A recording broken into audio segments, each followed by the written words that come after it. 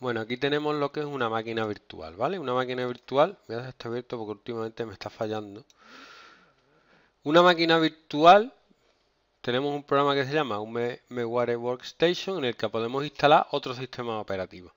Entonces, para enseñaros lo de la BIOS, he dicho, pues arranco una máquina virtual que no existe realmente, un ordenador virtual y entro en la BIOS, ¿vale? Y he podido, y la BIOS es bastante parecida a la que viene en los tutoriales, ¿vale? Luego veremos la de clase, pero vamos para entrar en la BIOS, que es esto. Me voy a salir primero. ¿Quiere guardar los datos de configuración? Yes. No. Yes. Y ahora reinicie. Cuando reinicie le doy a F2 y hace mayo. Y ahora me va a decir que no puede arrancar. Este arranque es el de la red. Pues nada, me voy a resetear, le doy a controlar para liberar el ratón y le doy aquí a reset. Ahora le doy aquí le doy a F2. Le voy dando F2 y ahora cuando arranca me entra en la BIOS, ¿vale? Y la BIOS es muy fácil. Con el teclado, con la, el cursor derecho, me voy para la derecha, seguridad. Y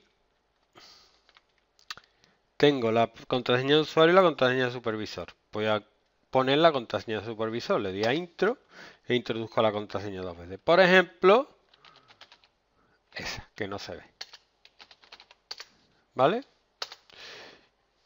Ahora pone que la contraseña de supervisor está set, está puesta y la de usuario no. Eh, contraseña al arrancar, es decir, que cada vez que arranque el ordenador pida la contraseña. Está deshabilitado porque si no, cada vez que arranque el ordenador me pedirían la contraseña. Pero para entrar en la BIOS, por ejemplo, ahora sí pido una contraseña que es la que he puesto.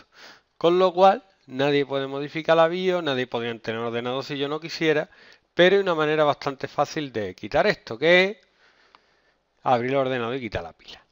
¿Vale? Pues ya está. Esto es muy fácil. ¿Vamos a poner la de usuario también o qué? Ahora. Vamos a poner la misma. No es lo suyo, pero ponemos la misma. Y que pide la contraseña al arrancar. Me voy con los cursores para arriba y para abajo. Le di a intro. Le di al cursor hacia abajo. Habilitar. ¿Vale? Voy a guardar dando la F10. Guardar, yes. Y al arrancar, ve lo que pasa. Me pide la contraseña para arrancar. La escribo y ya arranca. ¿Ok? Lo que pasa es que no tiene disco duro, ni sistema operativo, ni nada. Pero bueno, así es más o menos.